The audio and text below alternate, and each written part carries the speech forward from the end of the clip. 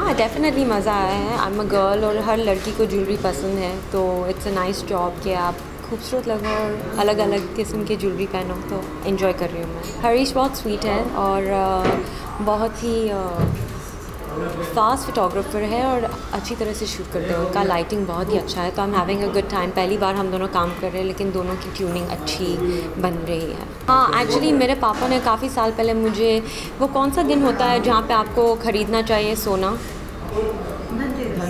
हाँ उस दिन पे उन्होंने मुझे इयरिंग्स दिए थे और दो दिन दो तीन दिन बाद मैं शूट कर रही थी तो मैंने इयरिंग्स को निकाल कर टिशू में डाला। टिशू मैंने बैग में डाला। और घर जब मैं गई थी आ, मैंने सारा सामान बैग से निकाला और कचरा वचरा फेंक रही थी और भूल से वो टिशू में जो इयरिंग्स थे वो भी आ, मैंने फेंक दिया बाय मिस्टेक तो पूरी रात मैं नीचे वॉचमैन के साथ सबका कचरे के अंदर ढूंढ रही थी, वो इयरिंग्स जो कभी मुझे मिले नहीं हैं। सो नाम वेरी केयरफुल कि मैं चीज़ें को संभाल कर रखूँ।